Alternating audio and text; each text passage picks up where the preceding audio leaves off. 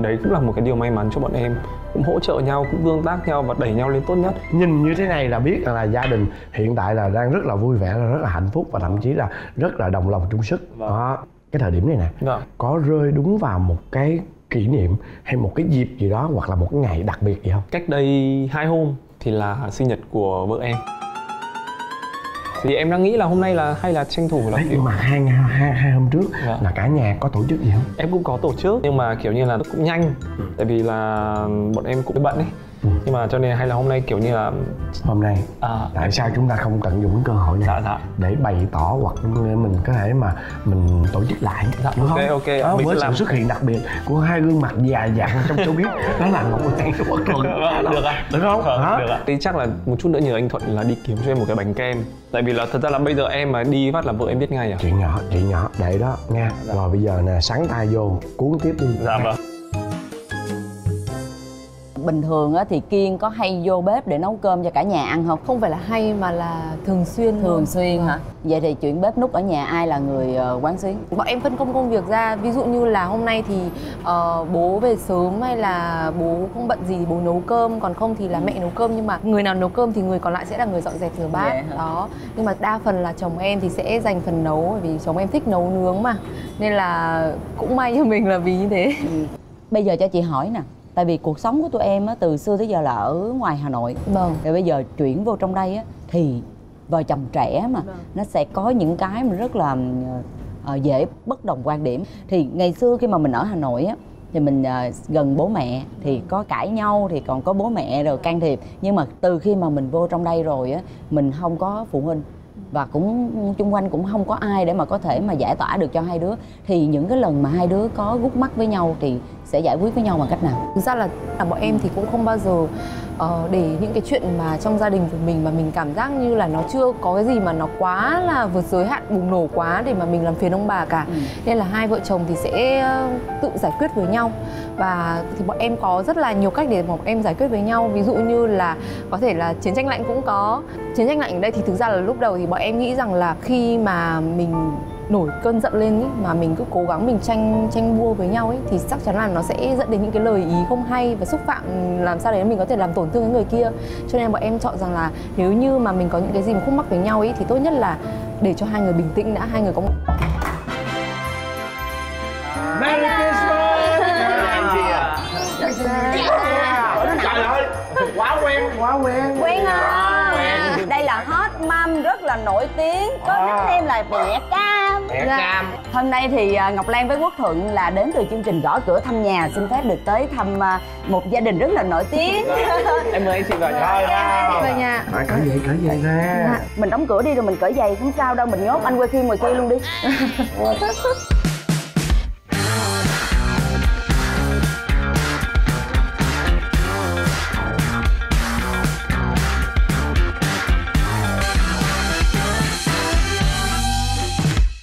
Con nói thật với bố. Chị ta thiếu gì người theo đuổi Chỉ lợi dụng bố thôi. Tại sao con có thể dựng lên những chuyện như vậy nhỉ? Con không dựng chuyện.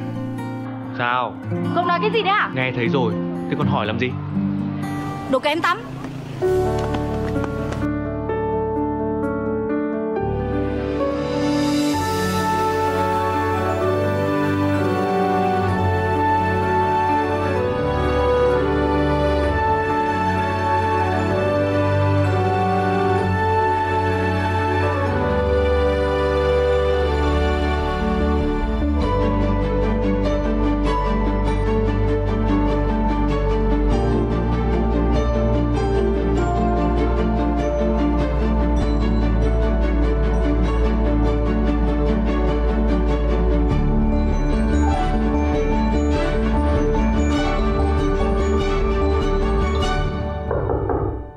vị, hiện tại thì Ngọc Lan và anh Quốc Thuận đã ở trong à, nhà của à, hai vợ chồng rất là dễ thương, rất là nổi tiếng. Đầu tiên á, là cho cho Ngọc Lan hỏi rằng là lý do gì mà hai bạn lại chuyển vào trong Nam để sinh sống vậy? Thực ra là cái quyết định mà bọn em chuyển vào thành phố Hồ Chí Minh để sinh sống ấy thì thực sự nó không nằm trong cái kế hoạch mà đã định trước từ rất rất lâu trước đấy của hai vợ chồng mà nó chỉ trong đúng vỏn vẹn là trong năm nay thôi.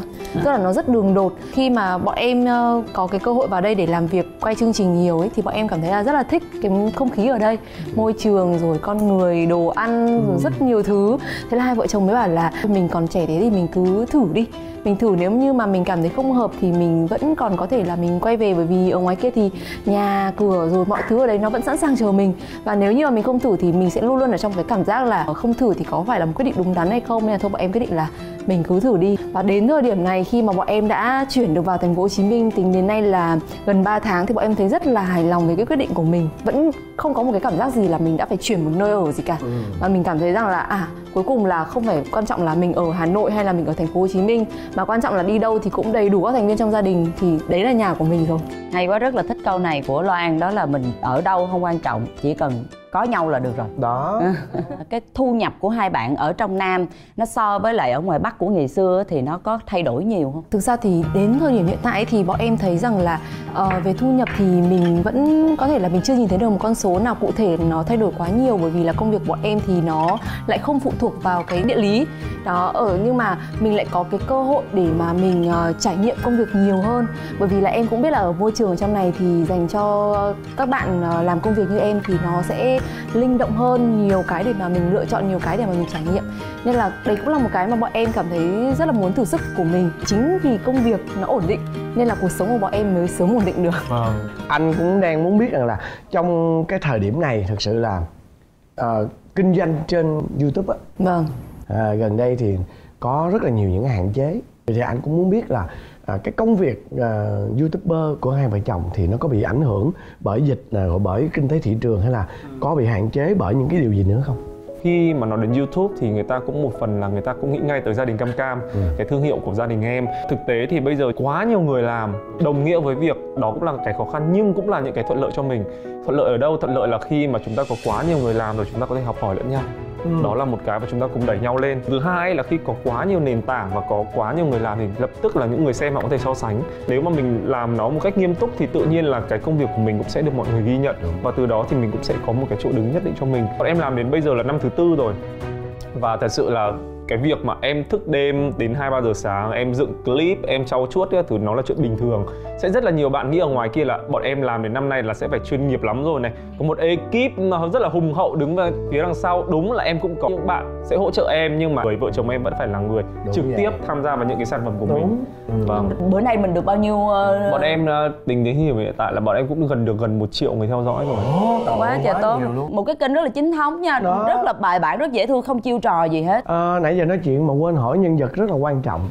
Bé cam. Đúng vậy. Người ta, ta, ta, gia đình cam cam mà bước vô đây thấy gia đình chưa thấy cam, cam nha. Ừ chưa thấy cam. Vâng tại vì là ngày hôm nay thì cam lại phải đi học. Mà hôm nay chương, ừ. ở chương trình của trường cam lại có một cái chương trình ngoại khóa. Quá. đó nên là cũng uh, hai vợ chồng rất là phân vân. Nhưng mà thôi tại vì là vì cam mới chuyển trường vào đây nên là bọn em thì muốn rằng là con uh, không bỏ lỡ những cái dịp mà được đi cùng bạn bè thầy cô ấy. Đấy để cho bé có thể ừ. nhanh chóng hòa đồng với cả môi trường trong này đó. bây giờ là tới giờ trưa rồi mà format của chương trình là hai anh em là hay đi gõ cửa xong rồi đi xin ăn cơm.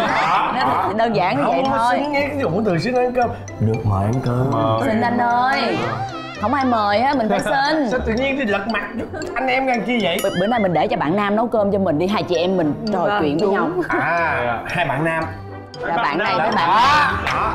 là hai chúng mình. À. vào bếp nấu cơm. Ừ. còn hai người phụ nữ ấy sẽ tìm một cái chỗ đó để tâm tình à. sẽ okay. trò chuyện với nhau. Những câu chuyện bí mật. họ biết mà thôi. À rồi. Mà tụi mình cũng có những câu chuyện chỉ anh em mình biết mà thôi. yeah. ok. Ok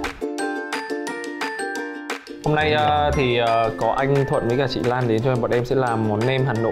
Nem Hà Nội. Vâng, trong này gọi là chả giò Chả giò. Chả giò. Không hiểu tại sao nữa nha. Ngoài Bắc gọi là nem Mà trong Nam này gọi chả giò. Thật ra là về mọi người cứ nghĩ là nó là hai món giống nhau ấy Nhưng mà ừ. thực chất là nó không giống nhau đâu anh nó khác. Nó khác nhau đó. Chứ không phải là, là giống nhau đâu. Cái cách cuốn á, ở vâng. trong trong uh, miền Nam á vâng. Thì là cái cuốn chả giò đó là nó nhỏ hơn. Nhỏ ạ. Còn này là cũng dài hơn. Vâng. Nãy giờ anh với lan ngồi trò chuyện với hai vợ chồng. Anh cứ tưởng là hai vợ chồng đã vào trong nam này sống lâu lắm rồi. Tại sao tại vì các bạn rất là rành. Vâng. nó rất là rành về văn hóa về vâng. con người vâng. thậm chí là về món ăn luôn. Vâng. anh hỏi thiệt nha. Nên là em em vào trong đây thì em thấy cái khó khăn nhất đối với em thôi. Thì cái gì nó là khó khăn khi mà em vào trong đây? Là chắc chắn là việc xa gia đình ừ. Nó là một việc rất là khó tại vì à, thật ra là ở ngoài Hà Nội thì bọn em có ông bà này bố mẹ à, ở ngoài đó. Cho nên là nhiều khi mà bọn em thích làm gì hay là thích như thế nào thì đôi khi là vẫn kiểu cả nhà tụ tập nọ kia.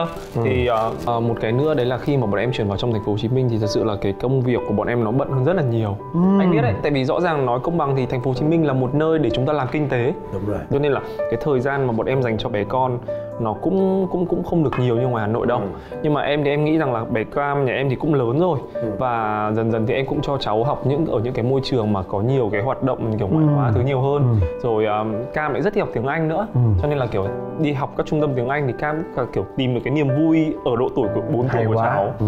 cho nên là bọn em cảm thấy là cũng rất là thoải mái cũng như là bọn em cũng rất là cảm thấy rất là vui cho Cam. Hay quá. Vâng. nhắc tới cam cam thì anh cũng muốn hỏi luôn rằng là tên cái kênh youtube của mình đó là gia đình cam cam. Dạ. Đúng không Vâng. vậy thì chắc chắn là cam cam phải nổi tiếng hơn cha mẹ rồi đó khi mà em tạo cái kênh này ra xong em không bao giờ em nghĩ là em sẽ làm lâu như vậy đâu Ờ. em chỉ nghĩ là một nơi mà kiểu như là lưu giữ những Đúng rồi. niệm gia đình Đúng, đúng, kia đúng. thôi em chưa được một tuổi mà em Ừ. lập cái kênh đó rồi nhưng mà thôi thời thế thế thời tự nhiên là đó cũng là một cái công việc của đúng mình rồi phải nói có một yếu tố mà mang đến một cái sự gọi là phát triển cái kênh của mình đó chính là bé cam cam Dạ. bé quá đáng yêu Dạ. anh đang muốn hỏi là với cái việc mà bé nổi tiếng từ rất sớm như vậy vậy thì không biết là cam cam có có có cảm nhận được rằng là ôi mình nổi tiếng không Vâng. và thậm chí là, là cam cam có thích không à, Ờ, thật ra thì em không bao giờ em để cho Cam có một cái suy nghĩ ở trong đầu là Cam là người nổi tiếng Ừ. bọn em tránh cái việc đó lắm bé được sống đúng với cái lứa tuổi của bé là điều quan trọng hơn. Ừ, đúng rồi. Hoặc là đi ra đường mà kiểu như là có nhiều người xin chụp ảnh các thứ các thứ thì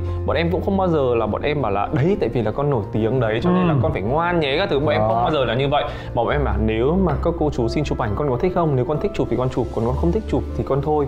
Và bọn em luôn luôn bảo là vì mọi người yêu quý con vì Đúng con vậy. ngoan Ừ. thì con mới được mọi người xin chụp ảnh. Chứ không bao giờ kiểu như là tại vì con nổi tiếng đó nọ kia các thứ trên mạng. Bây giờ quay trở lại nhắc đến cái bạn mẹ cam cam. Dạ. hai vợ chồng anh thấy lúc nào cũng nồng nàn lúc nào cũng nhìn nhau bằng một ánh mắt rất là yêu thương. Dạ. Vậy từ sau chương trình vợ chồng son về hai vợ chồng có cái mâu thuẫn xích mích gì không? Chắc chắn là có. Chuyện lớn nhất của bọn em có lẽ là trong cái khoảng một năm đổ lại đây đấy là vấn đề về về căn nhà này. Khi mà hai vợ chồng cùng quyết định là chuyển vào thành phố Hồ Chí Minh sống thì hai vợ chồng lại không hề đắn đo gì chuyện đó đâu. Ừ. ok quyết sống mai chúng ta đi vào. Tìm chỗ nào đấy nhà cửa nọ kia để chúng ta duy trì cuộc sống của chúng ta làm sao chất lượng cuộc sống nó tốt nhất? Ừ. cái đấy đi rất là đồng lòng. Nhưng khi mà trong quá trình mà bộ chồng em mua cái nhà này chẳng hạn thật ra là vợ em là người quyết em lại là một người bảo là thôi cứ từ từ để xem thêm nọ kia ấy các thứ. Mình nó lập tức ra một cái mâu thuẫn. À. đó là biểu là ừ, đó mà em đã thích rồi xem cũng kỹ rồi tại sao cứ phải xem thêm làm cái gì? Chắc gì còn nhưng mà em lại bảo nhưng mà chắc gì cái này đã là một phương án tốt nhất của mình. Nọ kia. Sau đó hoặc là khi mà trong quá trình sửa nhà chẳng hạn thì em với Loan thì được cái là cũng chia với nhau rất là rạch ròi. Ví dụ như Loan thì em sẽ cho Loan là à em thì sẽ là người mà kiểu như là quyết định về mặt hình thức còn về mặt công năng ví dụ như loại tủ này hay là kiểu kiểu tủ này nọ kia thì em sẽ là người tham gia. Nhưng mà đôi khi thì vẫn sẽ có những cái mâu thuẫn đỉnh điểm của cái ờ, khi mà bọn em sửa căn nhà này ấy. khi đợt dịch thứ hai bùng phát thì hai vợ chồng em lúc đó rất là áp lực vừa phải chăm con này. Có con thì bọn em phải kiểu như là gửi tạm ông bà vào trong ngày hai vợ chồng. Vừa chạy công việc hàng ngày bọn em không thể bỏ công việc hàng ngày được. Ừ. xong rồi cộng thêm việc là chăm thứ nội thất Chăm gạch. sữa vữa rồi nước nôi. Trời ơi em nói thật với anh mà đôi khi kiểu như là thợ họ lên chậm một ngày thôi là cả một giây đằng sau nó bị ảnh hưởng. Hai vợ chồng lúc đó rất là mệt rất là stress và thật ra lúc đấy tự nhiên là cái cái cái cái bản thân mình nhìn cái gì nó cũng bị khó chịu ấy. Chuyện gì mình cũng dễ gây với nhau ạ đó nhưng mà cũng rất là may là ờ, cuối cùng nhìn lại thì em thấy rằng là may mắn là cái chuyện này cái viện bất kỳ một việc gì thì đều có sự tham gia của hai vợ chồng chứ không phải đơn lẻ một người nào đó làm. Thì đấy cũng là một cái điều may mắn cho bọn em. Cũng hỗ trợ nhau cũng tương tác nhau và đẩy nhau lên tốt nhất. Nhìn như thế này là biết rằng là gia đình hiện tại là đang rất là vui vẻ là rất là hạnh phúc và thậm chí là rất là đồng lòng chung sức. Đó cái thời điểm này nè Vâng. có rơi đúng vào một cái kỷ niệm hay một cái dịp gì đó hoặc là một cái ngày đặc biệt gì không? Cách đây hai hôm thì là sinh nhật của vợ em. Thì em đang nghĩ là hôm nay là hay là tranh thủ là Đấy, nhưng mà hai, hai, hai hôm trước Dạ. là cả nhà có tổ chức gì không? Em cũng có tổ chức nhưng mà kiểu như là cũng nhanh. Tại vì là bọn em cũng bận ấy nhưng mà cho nên hay là hôm nay kiểu như là hôm nay à, tại sao chúng ta không tận dụng cái cơ hội này? Dạ dạ. Để bày tỏ hoặc mình có thể mà mình tổ chức lại Dạ, đúng ok, không? ok. Đó, Mình với sự làm- xuất hiện đặc biệt của hai gương mặt già dặn trong showbiz đó là ngọc lan. Của Quốc Thuận được ạ được không? Hả? được ạ. Thì chắc là một chút nữa nhờ anh thuận là đi kiếm cho em một cái bánh kem. Tại vì là thật ra là bây giờ em mà đi phát là vợ em biết ngay à? Chuyện nhỏ chuyện nhỏ. Để đó nha. Rồi bây giờ nè sắn tay vô cuốn tiếp đi. Dạ vâng bình thường á thì kiên có hay vô bếp để nấu cơm cho cả nhà ăn không? Không phải là hay mà là thường xuyên thường xuyên hả? Vậy thì chuyện bếp nút ở nhà ai là người ờ, quán xuyến? Bọn em phân công công việc ra. Ví dụ như là hôm nay thì ờ, bố về sớm hay là bố không bận gì thì bố nấu cơm. Còn không thì là mẹ nấu cơm. Nhưng mà người nào nấu cơm thì người còn lại sẽ là người dọn dẹp rửa bát. Vậy hả? đó. Nhưng mà đa phần là chồng em thì sẽ dành phần nấu bởi vì chồng em thích nấu nướng mà. Nên là cũng may cho mình là vì như thế. Bây giờ cho chị hỏi nè tại vì cuộc sống của tụi em á từ xưa tới giờ là ở ngoài hà nội. Vâng. Rồi bây giờ chuyển vô trong đây á thì vợ chồng trẻ mà nó sẽ có những cái mà rất là ờ, dễ bất đồng quan điểm. Thì ngày xưa khi mà mình ở hà nội á thì mình ờ, gần bố mẹ thì có cãi nhau thì còn có bố mẹ rồi can thiệp. Nhưng mà từ khi mà mình vô trong đây rồi á mình không có phụ huynh. Và cũng chung quanh cũng không có ai để mà có thể mà giải tỏa được cho hai đứa. Thì những cái lần mà hai đứa có gút mắt với nhau thì sẽ giải quyết với nhau bằng cách nào? Thực ra là, là bọn em thì cũng không bao giờ ờ, để những cái chuyện mà trong gia đình của mình mà mình cảm giác như là nó chưa có cái gì mà nó quá là vượt giới hạn bùng nổ quá để mà mình làm phiền ông bà cả. Ừ. nên là hai vợ chồng thì sẽ ờ, tự giải quyết với nhau. Và thì bọn em có rất là nhiều cách để bọn em giải quyết với nhau. Ví dụ như là có thể là chiến tranh lạnh cũng có. Chiến tranh lạnh ở đây thì thực ra là lúc đầu thì bọn em nghĩ rằng là khi mà mình nổi cơn giận lên ý, mà mình cứ cố gắng mình tranh tranh đua với nhau ấy thì chắc chắn là nó sẽ dẫn đến những cái lời ý không hay và xúc phạm làm sao đấy mình có thể làm tổn thương cái người kia. Cho nên bọn em chọn rằng là nếu như mà mình có những cái gì mà khúc mắc với nhau ấy thì tốt nhất là để cho hai người bình tĩnh đã hai người có một cái thế giới riêng bình tĩnh đã. Chồng em thì sẽ là hai người làm lành trước. Khi mà hai vợ chồng đều đều hạ nhiệt rồi thì bắt đầu sẽ ngồi nói chuyện với nhau rồi là sẽ uh, phải nói với nhau là cái này được chưa cái này chưa được rồi là mong muốn ở người kia như thế nào. Vì bọn em nghĩ rằng là bây giờ lấy nhau cũng phải được 5 năm rồi nên là đều phải đồng nhất với nhau. Với việc là muốn muốn được ở người kia cái gì thì mình phải nói ra chứ mình không thể nào anh hiểu em đi uh, rồi là em hiểu anh đi được. Ngày xưa khi mà em yêu kiên á tụi em có bị cái sự phản đối hoặc là mà có được cái sự ủng hộ của gia đình không? Thực sự là khi bọn em gặp nhau lần đầu tiên thì bọn em không hề nghĩ rằng đây sẽ là người bạn đời của mình thì bọn em gặp nhau thì bọn em cũng nghĩ là thôi, bây giờ thì mình cứ, còn trẻ mình cứ yêu đi, rồi mình cũng không có nghĩ, tại vì những cái người mà em yêu trước đấy thì em đều thấy là em rất là xác định để mà đi đến hôn nhân. Thế nhưng mà nó lại đều không thành. Thế thì khi mà em gặp chồng em thì em cũng nghĩ là thôi, mình không nghĩ đến chuyện đi xa làm gì cả. Trước đấy thì khi mà mình yêu những người kia, mình cũng có dắt về ra mắt, cũng có giới thiệu với gia đình. Thế nhưng mà em nghĩ là phụ huynh mình là những người lớn tuổi, họ rất là, kiểu, tinh mắt họ nhìn ra đâu được rằng là ờ mình sẽ đi được đến đâu. Và những người trước thế thì kiểu như là bố mẹ thì cũng chỉ bảo là ừ thì con cứ quen con cứ tìm hiểu đi không không không có nói gì xa xôi quá cả đến khi mà em dẫn kiên về ra mắt thì Uh, cảm giác như là bố mẹ đã đã nghĩ đến việc là mình sẽ tiến rất là xa với người này. Và khi mà bọn em quyết định là bọn em ờ, dọn ra ở riêng với nhau mà chưa có hôn nhân thì hai bên gia đình lại không hề có một sự phản đối nào. Người bất ngờ lại là bọn em. Vì uh, bố mẹ em thì cũng là làm trong quân đội nên là uh, bố mẹ em cũng rất là nghiêm khắc trong chuyện đấy. Thế nhưng mà lại thấy là ông bà rất là ủng hộ bọn em đấy thì em nghĩ rằng là vì có thể là ông bà cũng nhìn nhận được cái con người uh, của kiên một cách sâu sắc hơn mình hoặc là toàn diện hơn mình nên là ông bà yên tâm. Thế là bọn em mới uh, quyết định là bọn em sống thử. Và khi mà sống thử thì bọn em thấy rằng là nhìn thấy được nhiều những cái bản ngã khác nhưng mà nó lại con người thật và mình cảm thấy rằng là nó phù hợp để mà mình đi đường dài. Vậy thì cho chị hỏi nè với cái việc mà sống thử như vậy á tụi em có nhận được cái sự ờ, gọi là lời ra tiếng vào của những người chung quanh ngoài gia đình của mình hay không? khi mà sống thử thì em nghĩ là mọi người cũng không có nên ờ, kiểu trốn tránh hay là e ngại cái việc đó với gia đình mà nên ờ, kiểu như là chia sẻ thực sự với gia đình để Ừ, có được đó sự là cái quan trọng. của gia Ừ. đình chứ không phải là mình lén lút hoặc là kiểu như là mình ờ, lợi dụng cái việc sống thử đấy để mà kiểu như là ai mình cũng sống thử hoặc là nhà mình phải phải nhìn nhận xem là ai sẽ phù hợp để mà mình chấp nhận mình sống thử thật ra thì chị thấy như thế này nè mình không có cổ suý cho cái việc là sống thử trước hôn nhân. Tuy nhiên là như em nói là chúng ta phải chọn mình phải chọn cái người đó đủ tin tưởng để mình có thể là mình mình có một cái sự trải nghiệm trước hôn nhân. Tuy nhiên để mà sống thử được với nhau ờ, chúng ta cũng phải chuẩn bị đúng rồi phải chuẩn bị một cái cái cái điều đầu tiên là về kế hoạch hóa gia đình đúng vâng đó đấy là, cái việc rất là quan trọng. quan trọng. không đừng có để cái việc là mình sống thử với nhau để rồi là mình không có um, ờ, gọi là lý trí trong những cái việc đó thì nó lại còn sống dở chết dở ở kiên á cái điều gì làm cho em đến bây giờ em vẫn còn muốn kiên phải thay đổi?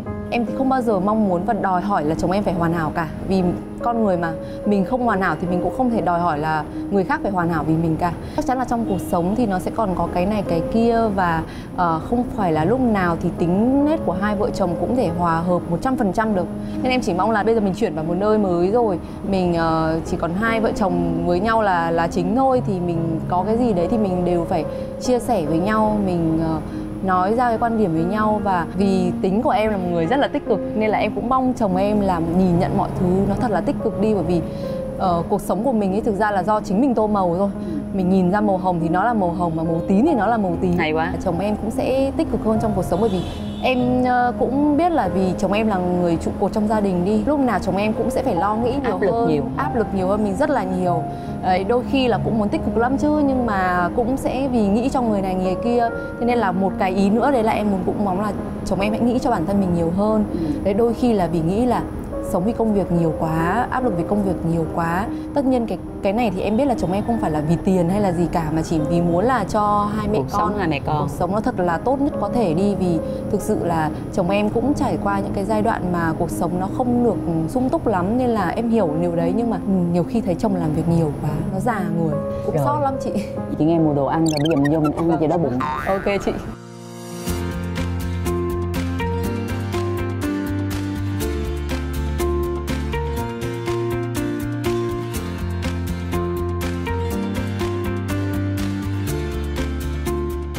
chụp hình đi. Ừ. không anh ơi em không có cầm điện thoại. Đẹp quá. Em biết cái này là ai làm không? đẹp quá. Em biết có là ai làm phải dĩ không? nhiên là anh với kiên là kiên thôi chứ anh không có. Nha. Vậy thôi chút nữa anh ăn một cái miếng bánh tráng thôi. Anh đừng có ăn cái chả giò của người ta nha. Nào. Đói mời mọi người ăn đi. Rồi. Mọi người ạ.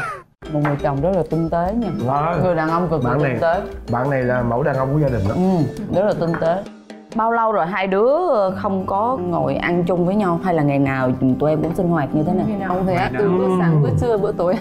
Nếu mà chị để ý chị sẽ thấy là không gian à, sinh hoạt chung của nhà em là bao gồm khách bếp và phòng ăn này này. Bọn em sinh hoạt rất là nhiều bọn em mà làm tất cả mọi thứ không gian nó mở ra với nhau. Ừ, ừ. đó để khi nào mà ở trong nhà ví dụ vợ em ngoài phòng khách em trong phòng bếp hoặc là vợ em ngồi bàn ăn em ngồi phòng khách chẳng hạn luôn Vâng, luôn vẫn nhìn thấy nhau và vẫn kiểu có thể nói chuyện giao đó lưu với nhau. nghe nào. Vào đây ăn như thế này có nghĩa là ở ở trong đây, rồi sinh hoạt ở trong đây, rồi ngồi ăn dưới đây mỗi bữa ăn vậy, anh hỏi nha, anh hỏi kiên nha. Kiên có nhớ nhà không? Có chứ em nhớ chứ. Bọn em nói gì nói thì kiểu như là khi mà vào trong này thì là kiểu như là bố mẹ ông bà thứ đều ở ngoài kia. Rồi nói gì nó bọn em sống ngoài hà nội 29 năm. Bạn bè những người thân nhất ở ở ngoài kia hết. Bọn em vào đây tính đến bây giờ là hơn 4 tháng và số lượng bạn bè của bọn em vì công việc thì có. Nhưng mà kiểu như là để mà bạn bè qua nhà chi kỷ ngồi nói chuyện tâm sự với nhau hàn huyên đến đêm ấy thì là không. Thì là chưa có. Cho nên là đôi khi bọn em cũng thèm những cái cảm giác nó nó được quây quần Đấy, mặc dù mình biết là những cái người quan trọng nhất của mình thì đang ở đây rồi nhưng mà đôi khi thì ừm, mình vẫn muốn là là những người mình có những người thân khác nữa chứ. Cho nên là thỉnh thoảng bọn em vẫn ra Hà Nội. Anh chị biết đấy là cái nhịp sống ở ngoài Hà Nội bao giờ nó cũng rất là bình lặng nó rất là là kiểu nó chậm hơn là ở trong Sài Gòn. Cho nên là khi mà mình ngồi với mọi người ở ngoài Hà Nội mình cảm giác nó nó gì đấy nó hơi chill chill hơi thư giãn lắm. Thế cho nên là đôi khi em cũng khá là thèm cái cảm giác đó. Loan anh hỏi nha cái lúc mà hai vợ chồng quyết định vô đây ở thì về phía bên gia đình của em á thì có người thân hay thậm chí là bố mẹ có có cản không? Hay là ủng hộ? Thực ra bọn em lại cảm thấy rất là may mắn ở một cái điều đấy là bố mẹ bọn em ý, thì thương con thì rất là thương con rất là muốn gần luôn. Thế nhưng mà ông bà thì lại rất là tôn trọng quyết định của bọn em. Vì ông bà luôn luôn nghĩ rằng là cái gì mà mình đã quyết định để mà đặt ra và nói với ông bà rồi thì đấy là cái quyết định mà cho dù như thế nào thì mình cũng sẽ làm. Nên là thay vì việc là cứ cản cấm và chắc chắn là con mình vẫn làm thì ông bà ủng hộ.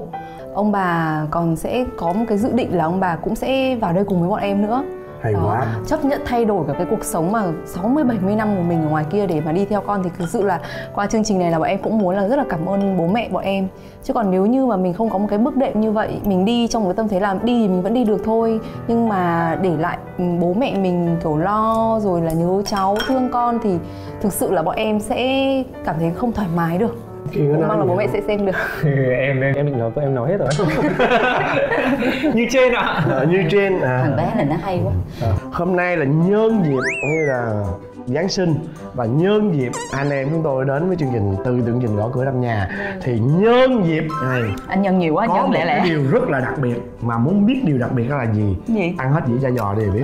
À ăn đi ăn đi no bụng. Nó á. Ừ, quá trời no luôn. Bây giờ nè tôi xin giới thiệu với ba thành viên đang ngồi ăn cơm với tôi. Một cái bí mật mà bây giờ tôi sẽ được bật mí.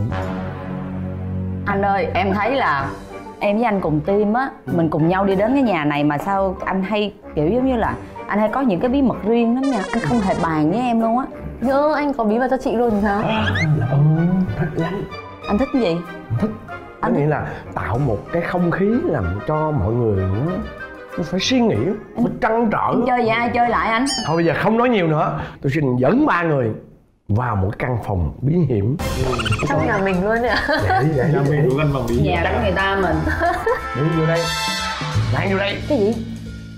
Đừng để xỉu nè nhà của người ta mà sao anh ngộ ghê có ai không ủa quên không ai đâu ủa phòng này là phòng bình thường là phòng của ai em Phòng này là phòng mổ cam ạ. phòng của cam đúng không Vâng. à ở đây coi nghe À. Bất ngờ thật. Thấy không? Dạ. Thấy chưa? Ủa, sinh nhật ai? Rồi, ngồi xuống nghe. Sau đây xin mời các bạn coi chiếu phim nghe. cam này của con mình nè một hai ba chúc mừng sinh nhật mẹ chứ. Hả? Chúc mừng sinh nhật mẹ. À, năm nay đã sinh nhật năm uh, thứ à, 29 của mẹ rồi. Và như vậy là hai vợ chồng mình đã đồng hành được với nhau uh, như vậy là 6 năm. À, anh biết rằng là 6 năm qua thì không phải là một khoảng thời gian quá dài nhưng cũng đủ để hai vợ chồng mình uh, có những kỷ niệm với nhau này, có với nhau được đồng chí bé này, đã chuyển với nhau vào trong thành phố Hồ Chí Minh một nơi hoàn toàn mới, hoàn toàn xa lạ để tiếp tục với nhau đồng hành với nhau trong chặng đường sắp tới. À, chồng biết được rằng là có những giây phút thì hai vợ chồng mình à, cũng rất là vất vả đúng không? Để có được những ngày hôm nay. Thì à, cảm ơn vợ đã luôn luôn tin tưởng cũng như là luôn đồng hành cùng với cả anh trong chặng đường vừa qua và chắc chắn là sẽ còn ở trong chặng đường sắp tới nữa. Và chúng ta sẽ cùng nhau cố gắng để à, nuôi dạy Cam trở thành người tốt này cũng như là trở thành một em bé thật là ngoan ngoãn à, chồng biết rằng là trong thời gian vừa qua thì đã có những lúc mà vợ cũng rất là mệt mỏi này căng thẳng này áp lực của gia đình áp lực về công việc rồi cố gắng lo lắng và chu toàn mọi thứ nhưng mà anh hy vọng rằng là à, những lúc nào mà khó khăn hay mệt mỏi thì em hãy chia sẻ với anh cũng như là luôn luôn ờ, bộc lộ cũng như là cứ nói hết ra mọi điều với anh thì anh chắc chắn sẽ luôn luôn lắng nghe em và các có muốn nói gì với mẹ không? Con có yêu mẹ không? Có Thế thì nếu yêu mẹ thì phải nói gì với mẹ nữa nhỉ? Hả? Yêu mẹ rất trên đời Thế như nào cơ? Như nào chứ? Bố bố chưa hiểu Ôi, yêu nhiều như thế luôn Và con hứa phải trở thành ngoan ngoãn để cho mẹ vui nhá Ok, chúc mừng sinh nhật em và 29 tuổi rồi Ờ, luôn luôn cố gắng và chắc chắn là sẽ có chồng và cam đồng hành cùng vợ trong chặng đường sắp tới. Happy birthday. Happy birthday mẹ nào. Một hai ba. Happy birthday.